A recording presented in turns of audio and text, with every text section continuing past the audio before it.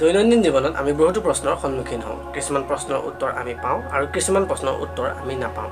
আৰু কিছুমান প্ৰশ্ন এনেকুৱা যে আজিলৈকে বিজ্ঞান অৰ্থাৎ ছায়েন্সেও বিচাৰি উলিয়াব পৰা নাই। সেই প্ৰশ্নসমূহৰ কাৰণে তেওঁলোকে অশেষ চেষ্টা কৰি আছে যাতে তেওঁলোকে সেই প্ৰশ্নসমূহৰ উত্তৰসমূহ পায়। কিন্তু আজিলৈকে হাতত মাত্ৰ অসফলতা।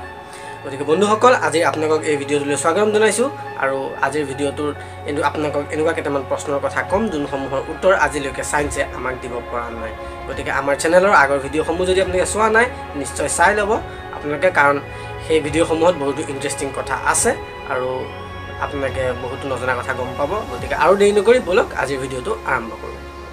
প্ৰশ্ন নম্বৰ এক how powerful or capable is our brain ই এক বহুত জটিল প্ৰশ্ন। যাৰ উত্তৰ আজিও বিজ্ঞানে পোৱা নাই। হলিউডত এখন মুভি আহিছিল লুচি নামৰ। তাত দেখুওৱা হৈছিল যে মানুহৰ মস্তিষ্কটো এশ শতাংশ ব্যৱহাৰ কৰিব পাৰিলে কি কি কৰিব পাৰি। কিন্তু এইটো এটা কথা যে আচলতে এশ শতাংশ ব্যৱহাৰ কৰিব পাৰিনে আমাৰ মস্তিষ্কটোৰ প্ৰতিটো অংশৰ কাম বেলেগ বেলেগ যিসমূহৰ গভীৰতা আজিও বিজ্ঞানে বিচাৰিব পৰা নাই। কোৱা হয় যে ব্ৰহ্মাণ্ডৰ সকলোতকৈ জটিল বস্তু হৈছে মানুহৰ ব্ৰেইনটো আৰু দিনে দিনে মানুহৰ ব্ৰেইনটো বিকশিত হৈ গৈ আছে। আচলতে মানুহৰ ব্ৰেইনটোত এখন বেলেগ ব্ৰহ্মাণ্ড আছে যাৰ সকলোবোৰ উত্তৰ পাবলৈ হয়তো মানৱ সভ্যতাক আৰু বহু সময়ৰ প্ৰয়োজন হ'ব। প্ৰশ্ন নম্বৰ দুই। পৃথিৱীৰ বাহিৰে অন্য প্লেনেটত প্ৰাণী আছে নে নাই অৰ্থাৎ এলিয়েনছ এই প্ৰশ্নৰ উত্তৰ আজিও ছায়েন্সে পোৱা নাই। কিন্তু উত্তৰ পাবলৈ অশেষ চেষ্টা কৰি আছে। এলিয়েন মানে অকল মূৰটো আৰু চকুকেইটা ডাঙৰ ভৰিকেইটা সৰু আৰু ৰংটো যে নীলা হ'ব তেনে নহয়।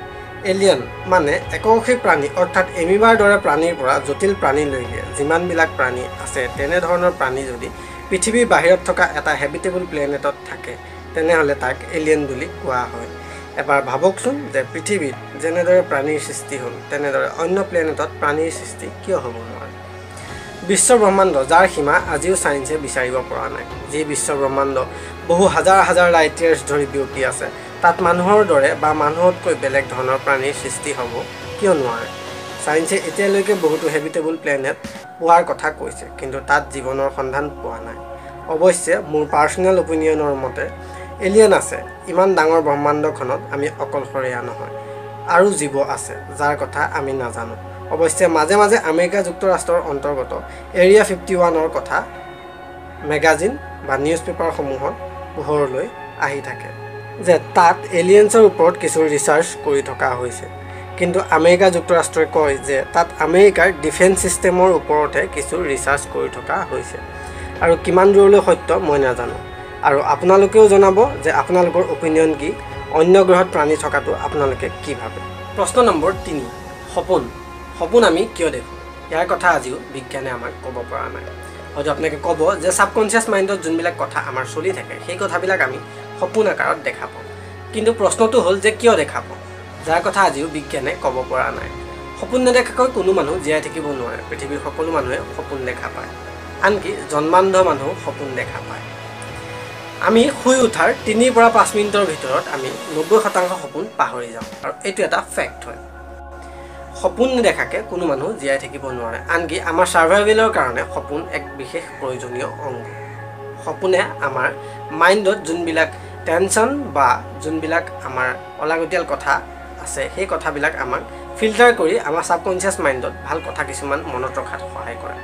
গতিকে সপোন কিয় দেখা পাওঁ বা সপোনে আমাক কেনেধৰণে আৰু বিশেষ সহায় কৰিব পাৰে সেই কথা বিজ্ঞানে আজিও আমাক ক'ব পৰা নাই।